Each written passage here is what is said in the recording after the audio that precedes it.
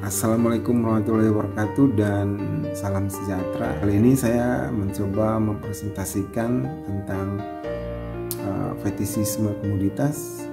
Fetisisme komoditas ini uh, adalah sebuah pengistilahan dari uh, fetisisme atau fetis atau fetism yang berarti uh, pemujaan terhadap sesuatu yang bersifat uh, gaib atau sakti atau sesuatu kebenaran yang belum tentu kita bisa tahu uh, kepastian uh, mutlak kebenarannya.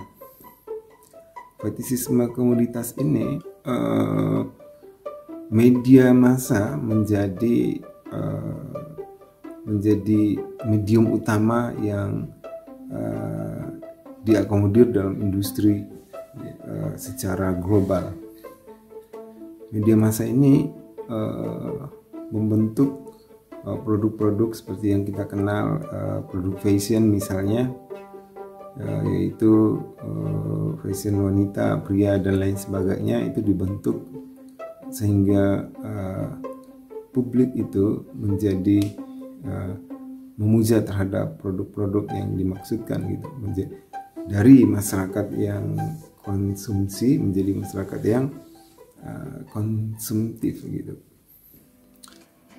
Uh, dalam teori fetisisme komoditas uh, Marx menjadi gagasan utama atau yang melatar belakangi uh, Adorno uh, untuk selanjutnya menuliskan uh, teori fetisisme komoditas ini.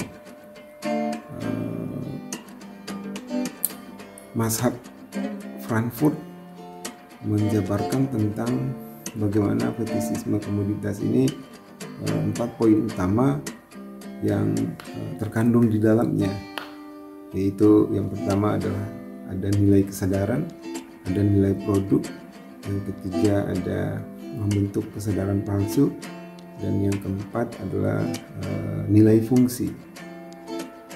Uh, kajian fetisisme ini uh, juga berakar dari tiga poin utama juga yaitu uh, dalam industri budaya itu dikenal uh, dalam proses industri itu uh, produk menjadi uh, uh, apa namanya pembentukan awal ya jadi ada ada produk setelah uh, uh, industri itu membentuk produk tahap berikutnya adalah mereka uh, bagaimana uh, apa namanya uh, menjualnya atau uh, membranding uh, terus setelah branding lalu masuk ke tahap tiga yaitu uh, konsumen atau konsumsi. Nah pada tahap konsumsi ini adalah tentu uh, berkaitan dengan uh, masyarakat penggunanya. Nah, uh, fetisisme komoditas juga menjadi contoh budaya populer yaitu produk kajiannya pada film koboi ya western film koboi ini uh, sangat terkenal ya. Bagaimana Hollywood itu membentuk aktor-aktor utama uh, sebagai uh, apa namanya kekuatan membentuk industri budaya tadi. Uh, itu dianggap berhasil.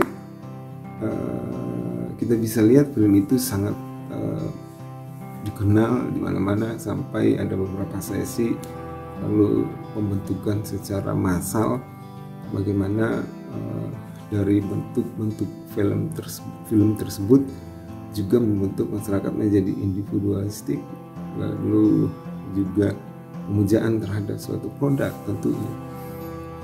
Uh, pembentukan produk tersebut berakar dari kapitalisme yang uh, mengakomodir secara komunal ya.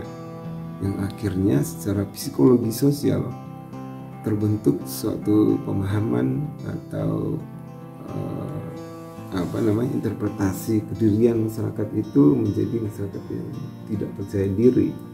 Atau masyarakat yang uh, jadi uh, apa namanya uh, merendahkan diri gitu kasus ini atau fenomena ini menjadi suatu hal yang sangat menarik dalam uh, bagaimana alur dari keterhubungan pembentukan masal uh, dalam konteks industri budaya tadi.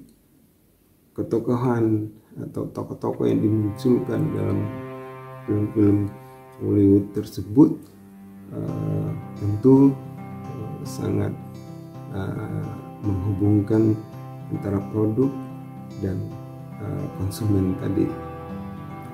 Dengan demikian, uh, atau analitik dari Adorno dalam konteks fetisisme komoditas ini membaca uh, bagaimana alur-alur tersebut yang kemudian menjadi telaah atau kajian saya pada proses mata kuliah hari ini pembentukan budaya populer dari uh, sebuah gagasan uh, fetisisme komoditas menjadi empat poin yang ditawarkan menjadi dasar teori uh, bagaimana uh, Adorno juga melihat sebuah peristiwa kapitalisme yang begitu uh, masif dalam sebuah produk-produk industri budaya. Uh, cukup sekian uh, presentasi saya. Semoga bisa uh, bermanfaat buat kita semua. Cukup sekian dan terima kasih.